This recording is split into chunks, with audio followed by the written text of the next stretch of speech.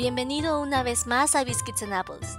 El día de hoy vamos a resumirte y a explicarte la tragedia de Sófocles titulada Electra, por si te costó trabajo entender la historia o parte de su contexto, o simplemente por si ya no tienes tiempo y tienes que presentar un examen, ensayo o algún otro trabajo que es por lo que generalmente vienen a nuestro canal. Primero que nada, quiero hacer hincapié en que este resumen se basa en la Electra de Sófocles, no es la de Eurípides, ten cuidado. Aclarado esto, voy a dar primero un poco de contexto para explicar mejor la trama, ¿ok? Entonces, lo primero que tienes que tomar en cuenta es que en el teatro griego los dramaturgos al escribir se basaban en mitos que todo el pueblo entendía, porque eran parte de su cultura y escuchaban estas historias desde pequeños. Nosotros no somos griegos y nos cuesta un poco más de trabajo entender las obras por lo mismo. Así que vamos a ver primero quién era Electra y los demás personajes antes de entrar de lleno con el texto. ¿Ok? Pues bien, Electra era hija de un rey llamado Agamenón. Tal vez recuerdes a este Agamenón como uno de los comandantes que fueron a luchar a la guerra de Troya, al lado de Aquiles, Odiseo y demás héroes. Fue una guerra terrible que duró 10 años, tras de los cuales quedaban pocos sobrevivientes, entre los que se habían salvado de aquella masacre estaba Agamenón, que regresaba victorioso a su reino, Micenas, y que estaba muy ansioso por volver por fin a casa. Pero no volvía muy feliz. Una versión de la leyenda dice que este rey, durante la guerra, para aplacar la furia de la diosa Artemisa, tuvo que sacrificar en su nombre a su propia hija, Ifigenia. De otra manera, todo su ejército iba a sucumbir. Así que Agamenón regresaba preocupado a su casa pensando en cómo explicaría aquello a su esposa, Clitemnestra. No tuvo mucha ocasión de hacerlo, porque resultaba que mientras Agamenón estaba ocupado en la guerra, Clitemnestra se había juntado con un antiguo enemigo de su esposo, un hombre llamado Egisto, quien naturalmente había usurpado el trono y ahora se pretendía como el rey de Micenas. A la llegada de Agamenón, bastante inesperada a estas alturas para Clitemnestra. Esta, asustada, tuvo que urdir rápidamente un plan para deshacerse de él. ¿Quién diría que después de 10 años iba a regresar al fin y al cabo? Ahora estaba ya con Egisto. Según Sófocles, entre ambos amantes le dieron una trampa mientras el rey estaba comiendo apenas llegó a su casa, cortándole la cabeza con un hacha. Para convencerse de aquella repudiable acción, Clitemnestra se dijo a sí misma que ese asesinato era válido y justo, pues era lo que se merecía después de haber sacrificado a sangre fría a su pobre hija, Ifigenia. Y es aquí donde comienza a generarse todo el terrible hilo funesto. No he dicho que, además de Ifigenia, la pareja tenía otros tres hijos. Se llamaban Orestes, Electra y Crisótemis. Cuando eran muy jóvenes tuvieron que enfrentar y vivir el terrible asesinato de su padre.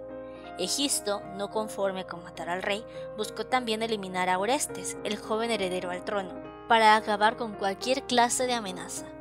Pero Electra, su hermana mayor, lo ayudó a escapar furtivamente, acudiendo con un criado de la casa para que se lo llevase lejos, muy lejos de las garras de Egisto, y que éste no pudiera hacerle daño. Orestes todavía era muy joven como para pensar en tomar la venganza que Egisto merecía, pero él le prometió solemne una cosa a su hermana, que un día, cuando fuera mayor, volvería por ella y por Crisótemis.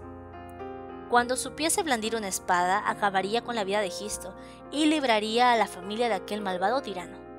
Sin embargo, pasaron años, y Orestes no volvió a aparecer jamás en Micenas. Egisto se asentó en el trono tomando absoluta legitimidad y Clitemnestra, ahora su esposa, lo respaldaba en su tiranía. Electra y Crisótemis habían salido rebajadas a condición de servidumbre, vestidas con ropas andrajosas, y el rey les asignaba labores de criadas. Crisótemis lo llevaba un poco mejor, pues gracias a la obediencia que había prestado a Egisto tenía mayores libertades y no lo pasaba tan mal. Pero Electra lo odiaba con todo su corazón, al igual que a Clitemnestra, porque ella sí entendía que todo había pasado por una traición, y porque ella adoraba a su padre. No podía sino pensar día y noche en que ambos debían morir, porque así lo dictaban las leyes divinas, y lloraba todos los días porque su hermano no volvía, aferrada a aquella promesa de la infancia. Ahora, después de esta larga introducción, por fin vamos a dar comienzo al resumen del texto en sí, así que presta atención.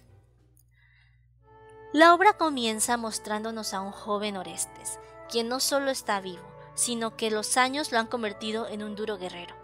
Lo vemos volviendo a su vieja casa, al lado del criado, que ahora es un anciano, y de un fiel amigo de armas, Pílades.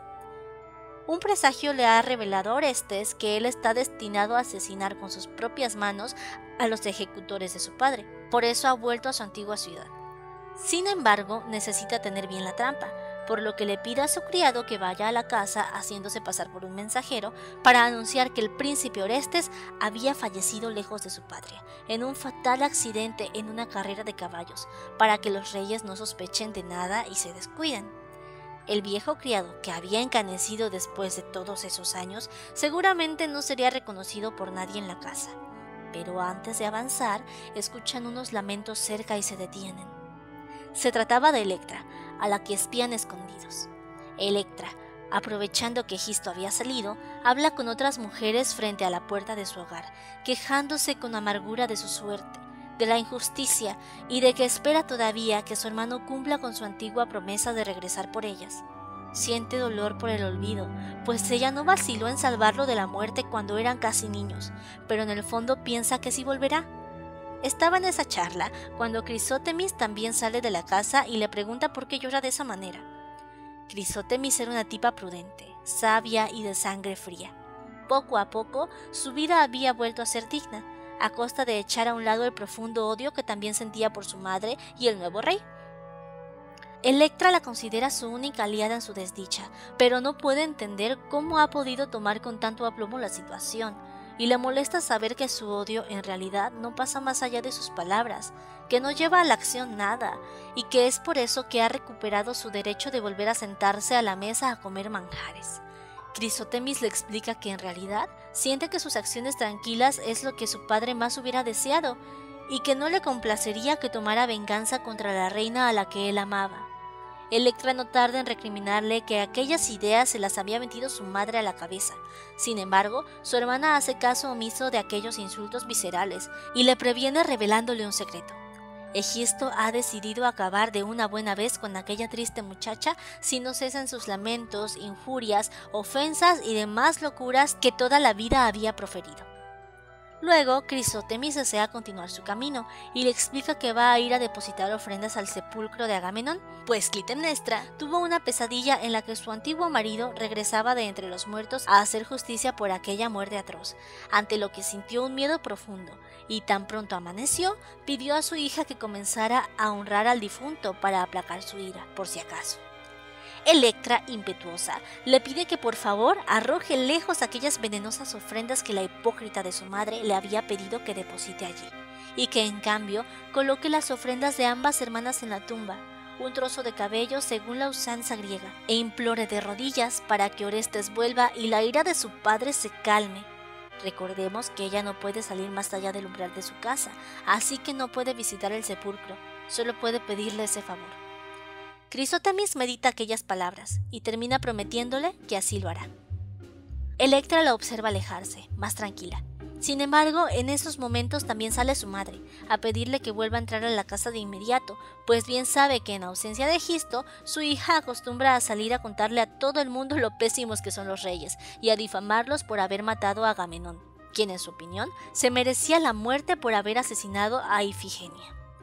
Electra vuelve a airarse, y en este momento dejaré de repetir que Electra se exalta, porque en realidad ella está exaltada durante toda la historia.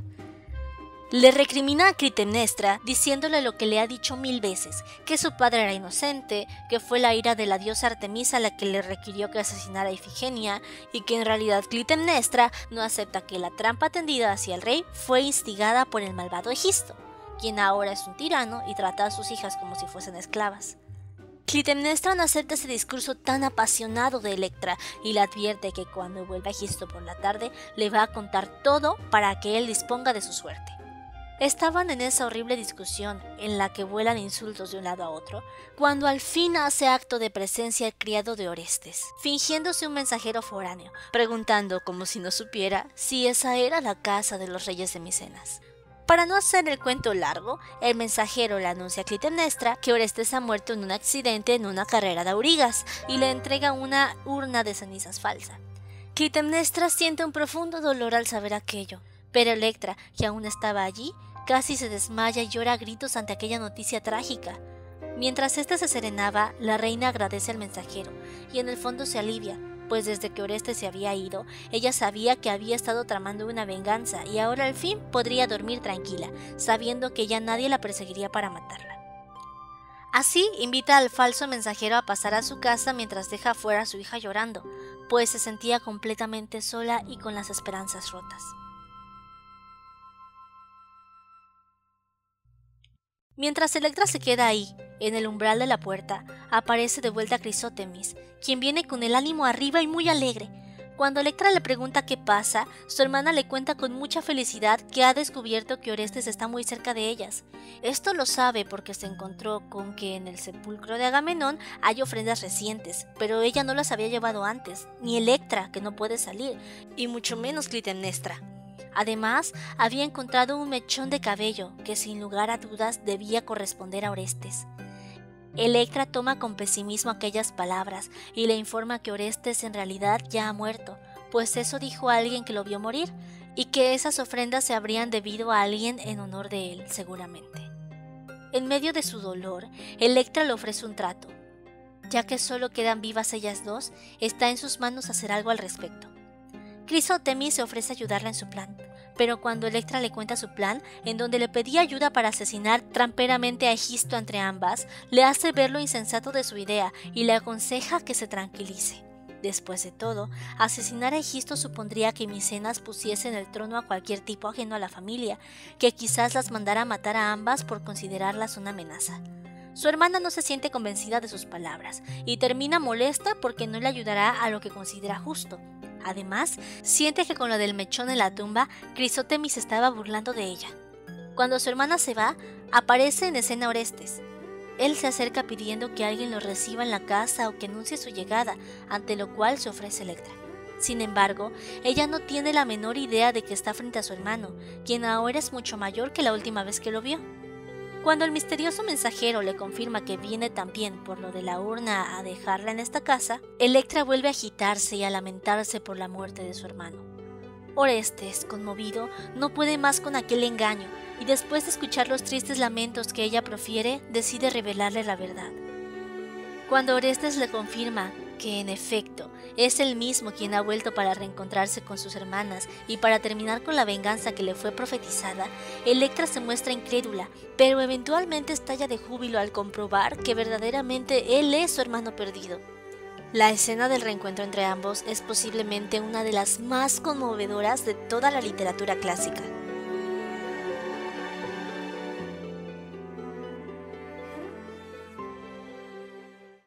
Después del bello momento, Electra le cuenta las cosas que ha hecho su madre en su ausencia, a lo que Orestes le pide que no le narre las cosas del pasado, sino las del presente, porque no tiene tiempo que perder. Necesita cumplir con su destino de venganza, y para ello debe entender la rutina de Clitemnestra y Egisto para asestar el golpe fatal. Es entonces cuando sale el criado de la casa y se encuentra nuevamente con Electra.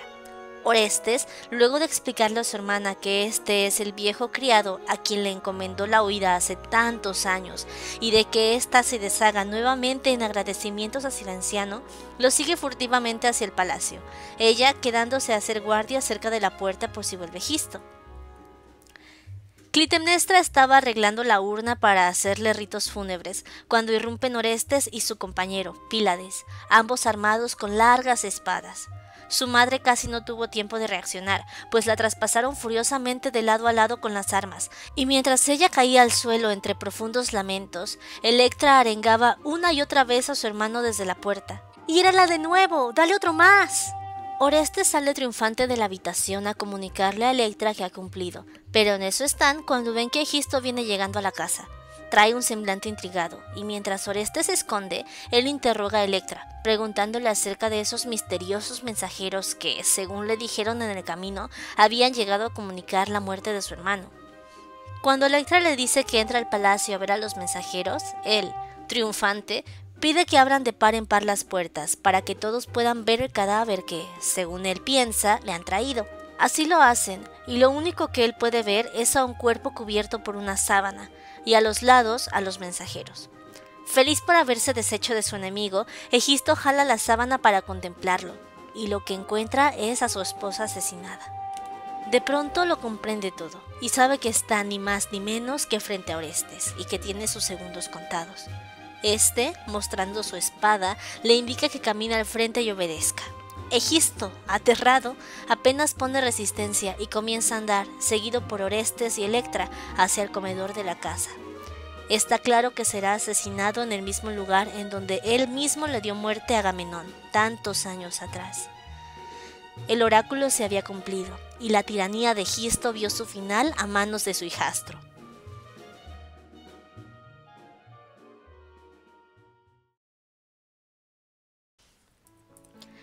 Es así como finaliza la obra. Parece que al fin Sófocles se complació en escribir un final relativamente feliz, sin embargo, no es enteramente así. El crimen del matricidio era visto como una abominación para los griegos, y Orestes se encontraba entre la espada y la pared, entre hacer justicia por su padre, obedeciendo el oráculo, y asesinar a su propia madre. Seguramente las justificaciones para haber acabado con Clitemnestra no fueron suficientes, pues se sabe que a Orestes lo persiguieron durante mucho tiempo las diosas de la culpa y el tormento es decir, las erinias, y al final su dolor fue tal que terminó arrancándose la vida. Electra, en cambio, nunca llegó a sentir remordimiento. Todo lo contrario, se sintió en paz con su padre y consigo misma. Ah, y se casó con Pílades, el amigo de Orestes, porque los griegos pensaban que otra de las desgracias de Electra es que todavía era solterona en sus veintes. Entonces ese fue su final feliz, aunque esto ya no nos lo cuenta Sófocles. De hecho, es uno de los pocos, o quizá el único personaje de toda la mitología griega que termina viviendo en paz por el resto de sus días, lo cual es rarísimo. En fin, espero que el resumen te haya sido de mucha utilidad. Si tienes preguntas puedes dejarlas allá abajo en el área de comentarios. Trataremos de ayudarte en un ratito libre. Muchas gracias por escucharnos y hasta la próxima.